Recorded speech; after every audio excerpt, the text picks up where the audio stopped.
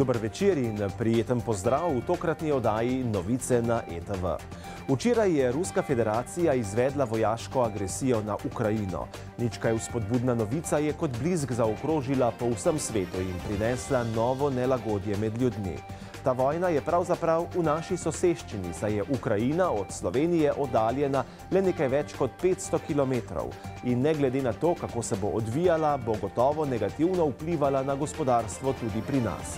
Če smo si oddahnili od korona krize, pa je tukaj nov razlog za skrb. Zato je čas, ki ga živimo, milo rečeno, zelo čuden. Nocojšnji poudarki so. V Hrastniku so se lotili projekta odvodnjavanja in čiščenja odpadne vode v porečju Save. Gradnja vodovoda pod Šentjur v Litiji. Litijski občinski svet potrdil prvi rebalans proračuna za letošnje leto.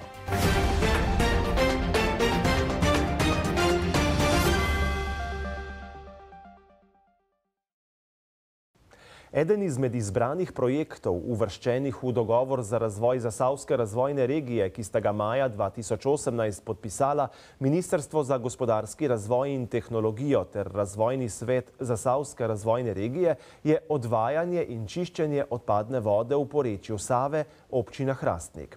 Izvajalec gradbenih del je podjetje AGM Nemec. Cilj je seveda čim večja priključenost na kanalizacijsko mrežje.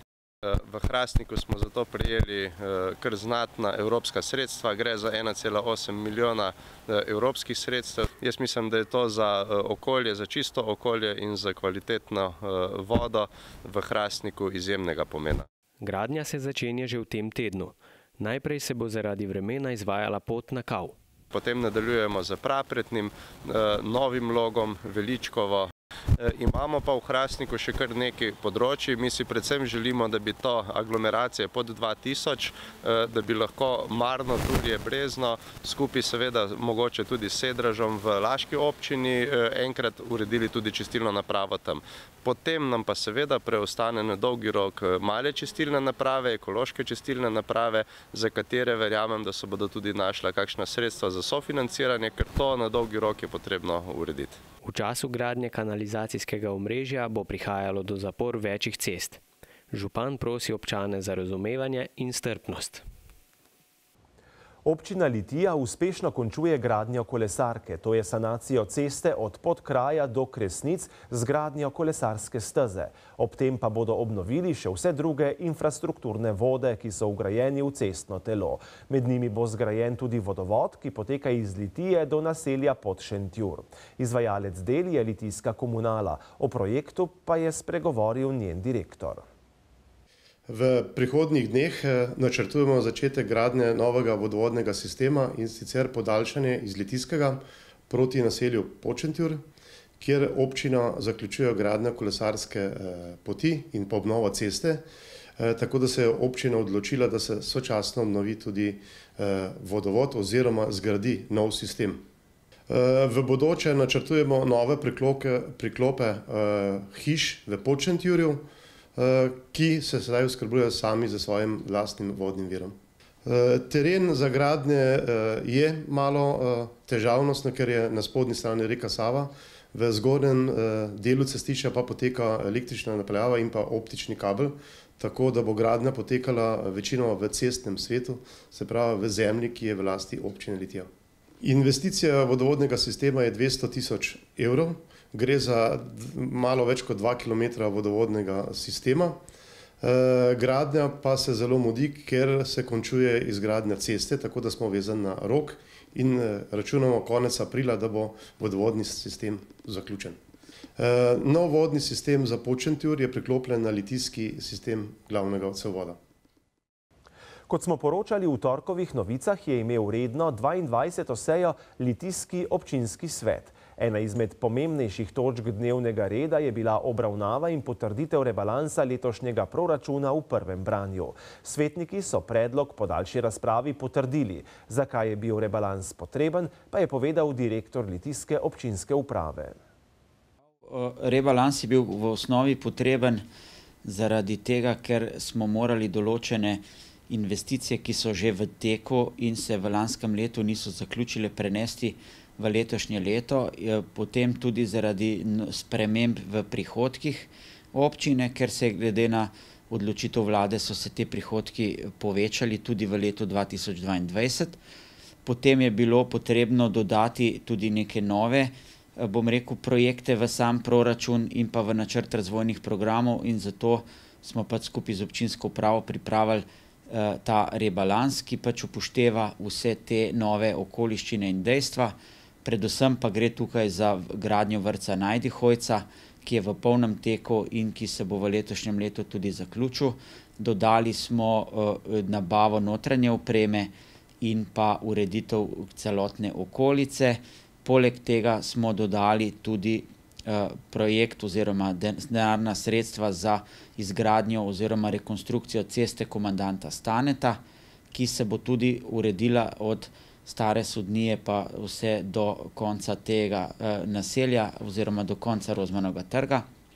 Tako da to so bile osnove, pa druga zadeva, tudi zelo pomembna, pa Izobraževalni center Hotič, kjer smo povečali sredstva, ker nameravamo že poleti z investicijo začeti. Seveda je pa to odvisno od izdelave še ustrezne projektne dokumentacije za izvedbo gradnje in pa razpisa. Tako da če bodo vse te zadeve tekle, kot je predvideno, naj bi z gradnjo, bom rekel, že v poletnih mesecih začeli.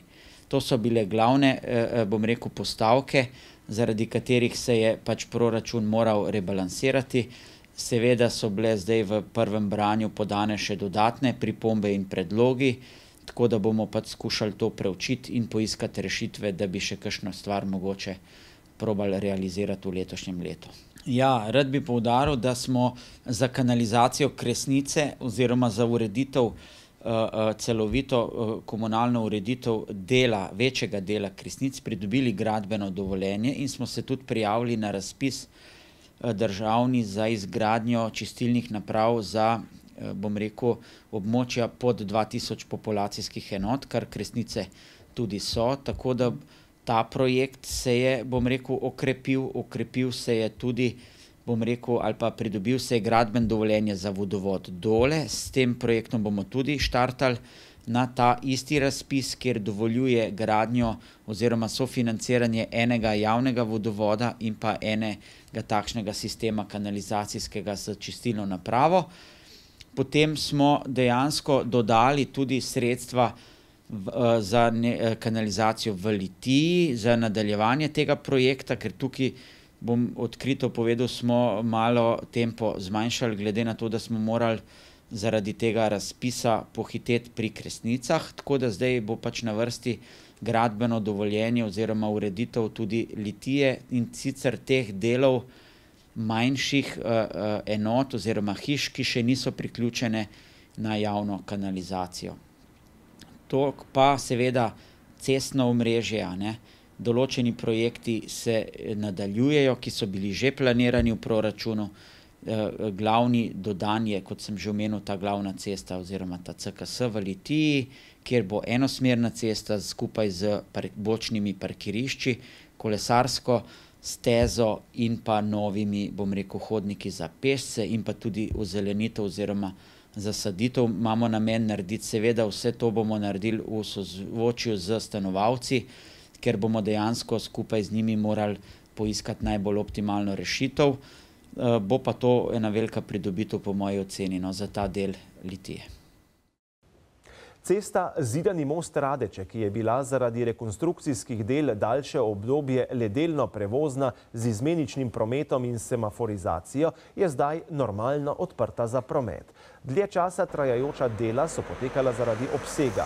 Izvedeni so bili širitev glavne ceste, podpornih konstrukcij, pilotne stene in armirano-betonskih zidov, gradnja treh prepustov, ureditev odvodnjavanja ter prometne opreme in signalizacije. Dela na glavni cesti v dolžini 1230 metrov so se zavlekla tudi zaradi zimskih razmer. Zaradi lažjega odvijanja prometa je izvajalec vmes odstranil polovično zaporo in postavil ustrezno prometno signalizacijo. Zdaj pa se promet odvija v obe smeri. Začetek gradbenih del je bil v letu 2020, končana pa bodo predvidoma do konca aprila, ko bodo izvedena še končna asfalterska dela.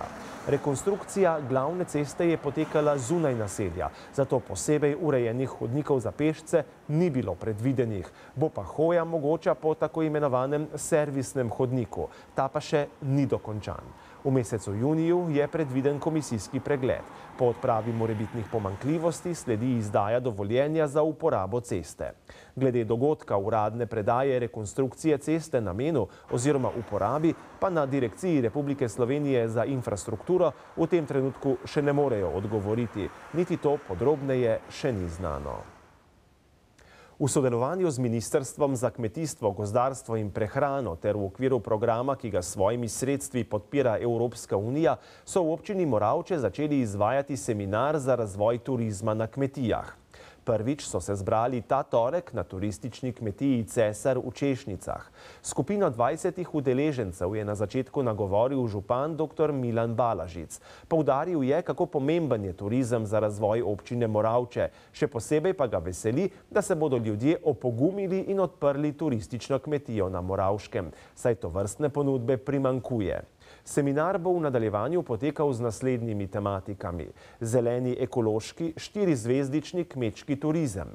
Kako pridobiti vso dokumentacijo za odprtje kmečkega turizma. Kaj vse je treba storiti, da je poslovanje pozitivno. Ekonomska računica. Kako pridobiti EU sredstva za razvoj turizma na kmetijah, kam se obrniti za pomoč svetovanje na državnih institucijah in investicijski skladi. Če niste bili prisotni na prvem seminarju, še ni nič zamujenega. Vljudno vas vabijo, da se jim pridružite v ponedeljek ob 15. uri na turistični kmetiji Cesar. Seminar je brezplačen. Vrtci po Sloveniji so začeli priprave za upise novih otrok za šolsko leto 2022-2023. Iz Trboveljskega vrtca tako sporočajo, da v vrtec sprejemajo otroke od dopolnjenega 11. meseca do vstopa v osnovno šolo. Če imajo prosta mesta, upisujejo in sprejemajo otroke v vrtec skozi vse leto. Večino novih otrok lahko sprejmejo s 1. septembrom, saj se takrat na novo oblikujejo oddelki. Zato pozivajo vse starše, da naj s prijavami pohitijo. Pri sprejemu otrok v naš vrtec imajo prednost otroci, za katere starši predložijo potrdilo Centra za socialno delo o ogroženosti zaradi socialnega položaja družine ter otroci s posebnimi potrebami. Vloge sprejemamo do konca meseca marca in če je vlog več, kolikor je prostih mest v našem vrtu, o tem odloča komisija na podlagi točkovanja, ki pa je zabeleženo v sami prijavnici. Ja, v naš vrtec bomo lahko po zadnjih informacijah sprejeli okrog 140 otrok, seveda pa je to odvisno od števila všolanih otrok in pa odlogov, ki jih bodo ti otroci imeli. Tako da več kot je odlogov, manj je prostih mest za naše novince. Sprejeli smo že nekaj prijav za vpis otrok v novo vrtčevsko leto, drugače pa se naš redni letni vpis prične v ponedeljek, osemindvajsetega februarja in bo trajal do vključno enajstega marca. Vpis bo potekal vsak dan med osmo in tretjo uro popoldne ter ob četrtkih od osme do tako tudi vse vloge, ki bodo prispele do enaintridesetega marca, vse kasnejše vloge pa se tretirajo kot nepravočasno prispele. Bogdan Barovič, nekdani novinar, poslanec, dva mandata tudi župan občine Trbovlje, se zdaj po invalidski upokojitvi ukvarja s slikarstvom. Ima svoj atelje, v katerem ustvarja, trenutno pa ima v galeriji Delavskega doma Trbovlje vse od odprtja sedemnajstega februarja pa do šestega marca postavljeno tudi razstavo svojih del z naslovom Podobe življenja. Ja, jaz mislim, da je to ena mojih zadnjih od več kot sto samostojnih razstav, zadnjih, pač skozi leta je manj energije, manj volje po eni strani, po drugi strani pa tudi vse ostalo in zdelo se mi je prav, da nekako svoje življenje spravim skozi, pokažem skozi likovno umetnost, ki se mi predam že več kot 30 let. In s temi podobami sem pravzaprav nakazal neko življenjsko pot, kot recimo križov pot, ki je po crkvah, kako človek začne kot otrok in potem kam te vse tisto, kar počneš, pelje, ne? ali v osamo, ali v življenju, v družbi, ali v srečo in tako naprej. No, skozi te podobe sem prikazal pot svojega življenja. Eh, ki je bil seveda eh, poln prelomnic, eh, takšnih in drugačnih. Če pa si obiskovalec natančno pogleda razstavo in te podobe vidi, da sem veliko življenja preživel sam, sam v sebi, govorim o svoji duši. Nisem bil sem okrožen z ljudmi kot, ne kot župan, kot poslanc, pa vendarle sem živel sam. Ne. V uvodu sem lepo napisal, da Eh, vem, da sem eh, zapustil družino, zapustil, da sem jo zapostavljal, eh, vendarle mi je družina to oprostila, delo sem pa za družbo, ne družba zavrže, družina pa oprosti. To je glavno sporočilo te razstave in kako človek začne v dvoje in tudi kako močno se trudi, da konča v dvoje na stara leta, zato je predstava tudi tako postavljena in tudi umestne postaje, kaj vse te spremlja v življenju, kaj vse je dobrega in kaj vse je tudi slabega. Nihče ni popoln. Večina teh slik je bila narejena z lopaticami, namerno, zaradi tega, da sem eh, grobost življenja nakazal z lopatico, s tistimi robovi, ki nastanejo.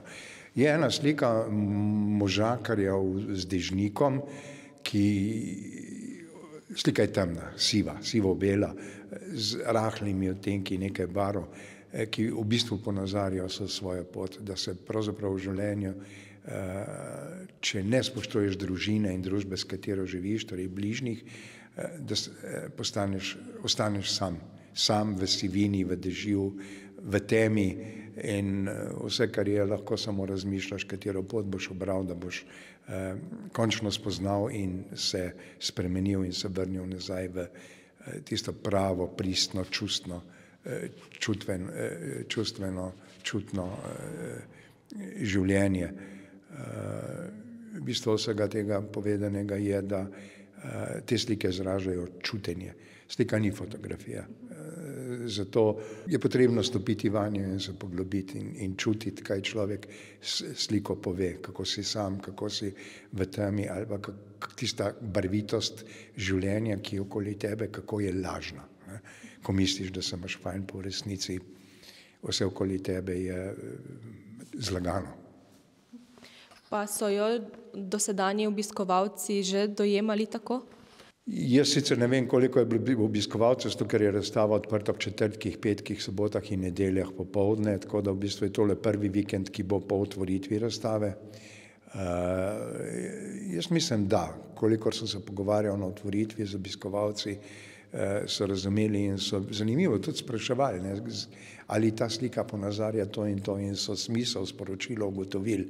Meni to veliko pomeni, ne, da se ljudje zazrajo sliko, stopijo, stopijo vanjo in da razumejo, da razumejo celoten cikl teh, mislim, da 14 slik. To pa je vse, kar smo vam pripravili za tokratno informativno oddajo Novice na ETV. Zahvaljujemo se vam za pozornost in vas lepo pozdravljamo.